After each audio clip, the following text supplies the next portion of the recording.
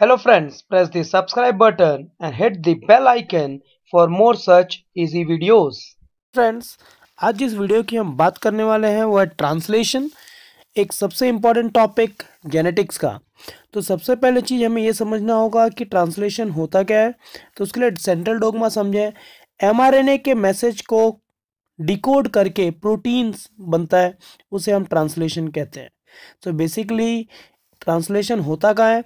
तो हम कह सकते हैं takes place in cytoplasm cytoplasm में कहाँ पर? तो राइबोसोम्स पे। राइबोसोम्स में एमआरएनए के कोड को डिकोड करके प्रोटीन सिंथेसाइज किया जाता है। ट्रांसलेशन बेसिकली होगा क्या? तो एमआरएनए के ऊपर सारे मैसेजेस होते हैं। तीन नाइट्रोजन बेस मिलके एक कोडॉन बनाता है और एक कोडॉन एक अमाइनो एसिड के लिए कोड करता है।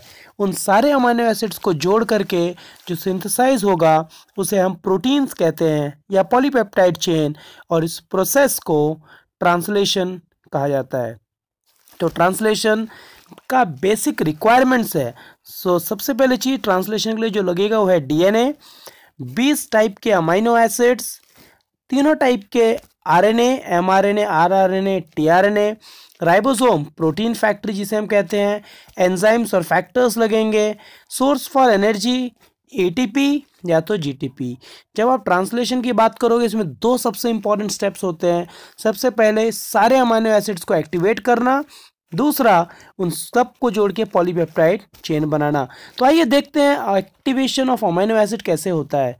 सो so, एक्टिवेशन के लिए सबसे इंपॉर्टेंट चीज़ एक एंजाइम ज़रूरत है जिसे हम कहते हैं अमाइनो असाइल टीआरएनए सिंथेटेस। इस एंजाइम में दो बाइंडिंग साइट है एक अमाइनो एसिड के लिए होता है जिसे कहते हैं अमाइनो एसिड बाइंडिंग साइट जहाँ पे अमाइनो एसिड बाइंड करेगा और एक्टिवेट हो जाएगा। दूसरा साइट जो है वो है टीआरएनए के लिए, जिसे हम कहते हैं टीआरएनए बाइंडिंग साइट टीआरएनए जब उस एक्टिव साइट पे बाइंड करेगा तो अमाइनो एसिड उस एंजाइम की मदद से और एटीपी की मदद से थ्री प्राइम एंड पे बाइंड करता है।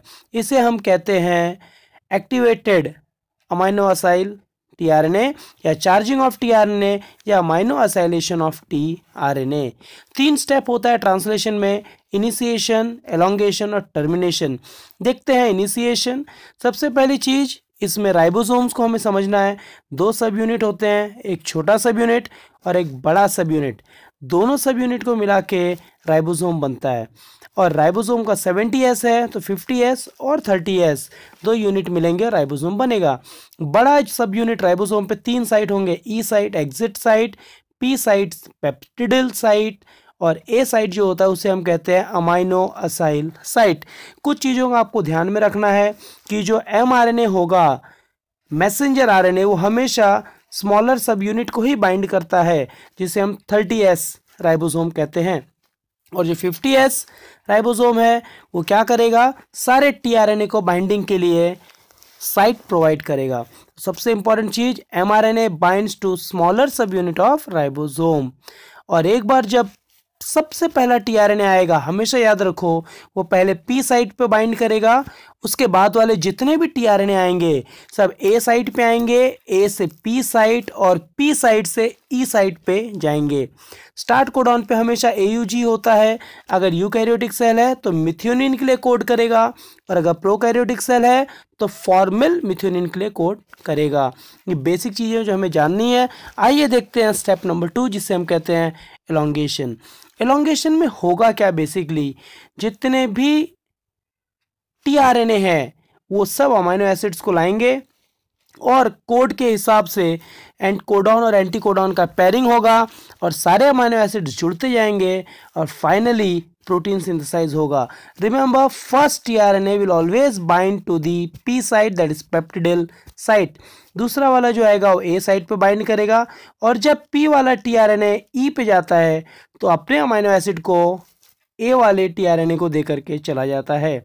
और दोनों अमाइनो एसिड जुड़ते हैं by the help of linkage जिसे हम कहते हैं पेप्टाइड लिंकेज और उसको जोड़ने के लिए जो एंजाइम लगेगा, उसे हम कहते हैं पेप्टिडल ट्रांसफरेज सो इस तरीके से जितना भी हम टीआरएनए आएगा अमाइनो एसिड को लेकर के, पहले वो ए साइड पे आएगा, फिर ए साइड से पी साइड पे शिफ्ट होगा, और जब वो पी साइड से ई साइड पे शिफ्ट होगा तो अपने सारे अमाइनो एसिड्स को वो प्रीवियस जो नेक्स्ट आएगा टीआरएनए उसे दे करके चला जाता है। तो अगर आप ध्यान से देखें तो ऐसा होगा पहला पी साइड पे आ गया। पी साइड के बाद जो नेक्स्ट टीआरएनए आएगा वो हमेशा ए साइड पे बाइंड होगा। और ए साइड पे बाइंड होगा तो ई e साइड से पी वाला एग्जिट करेगा। सो so, इस एनिमेशन में आप ध्यान से देख सकते हैं ए साइड एनर्जी जीटीपी ने प्रोवाइड की। तो येलो वाला ग्रीन पे आ गया। और वो टी आर ने जो येलो वाला अमाइनो एसिड लिया था, वो बाहर चला जाएगा ई साइड से। नेक्स्ट जो आएगा, वो ए साइड पे बाइंड होगा, फिर पी से। अब पी के पास दो अमाइनो एसिड से वो दोनों दे के नेक्स्ट वाले को चला जाएगा। इस तरीके से सारे अमाइनो एसिड्स एक दूसरे से जुड़ते जाते हैं as per the codon. Messenger RNA DNA का मैसेज कैरी कर रहा है और उसी मैसेज के कोड को डिकोड करके सारे सारे के सारे अमाइनो एसिड्स एक एक करके जुड़ते जा रहे हैं। और फाइनली क्या होगा, जब राइबोसोम शिफ्ट होता रहेगा एंड पे तो लास्ट में जाकर के वो पहुँचता है स्टॉप कोडॉन के पास। क्योंकि हमें पता है, एमआरएनए में हमेशा फाइव प्राइम पे AUG होगा जो स्टार्ट कोडाउन है और थ्री प्राइम पे स्टॉप कोडाउन होगा। और स्टॉप कोडाउन को हम नॉनसेंस कोडाउन कहते हैं। तो इस तरीके से सारे अमाइनो एसिड जुड़ते जाएँगे। एंड फाइनली उस समय आता है जब राइबोसोम लास्ट तीन कोडाउन में पहुँच जाता है, जिसे हम कहते हैं बेसिकली स्टॉप कोडाउन और ये सब एलोंगेशन के लिए एलोंगेशन फैक्टर लगेगा। और सारे अमाइनो एसिड सिंथेसाइज हो जाएँगे। एलोंगेशन के वक्त याद रखो राइबोसोम मूव हो रहा है एमआरएनए के ऊपर, जिसे हम ट्रांसलोकेशन कहते हैं। अब टर्मिनेशन स्टेप को देखते हैं। ऐसा क्या होता है कि पूरा प्रोसेस टर्मिनेट होता है? सो so बेसिकली हमें क्या समझना है इसमें? कि टर्मिनेशन के वक्त तीन जो स्टॉप कोडॉन है, उन्हें हम नॉनसेंस कोडॉन भी कहते हैं।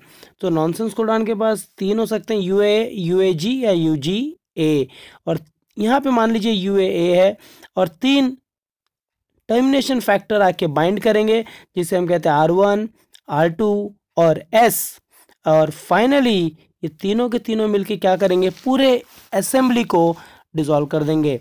सा दोनों राइबोसोम्स अलग टीआरएनए अलग एमआरएनए अलग और प्रोटीन चेन सिंथेसाइज हो गया।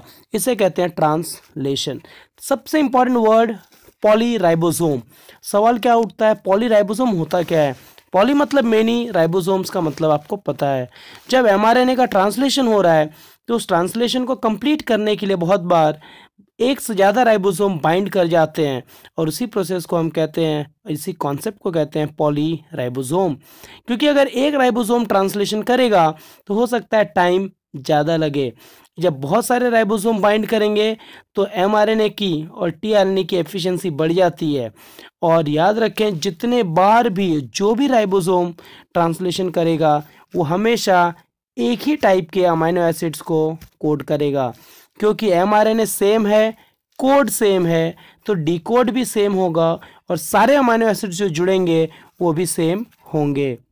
So each ribosome make same polypeptide chain many identicals are there just to increase the efficiency ribosome में दो सब यूनिट होता है 50s और 30s जो 65 परसेंट आर का बना है 35 परसेंट प्रोटीन का बना है।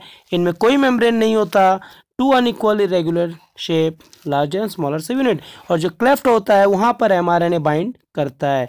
दोस्तों, उम्मीद करता हूँ आपको ट्रांसलेशन समझ में आया होगा। Give a like to this video thank you very much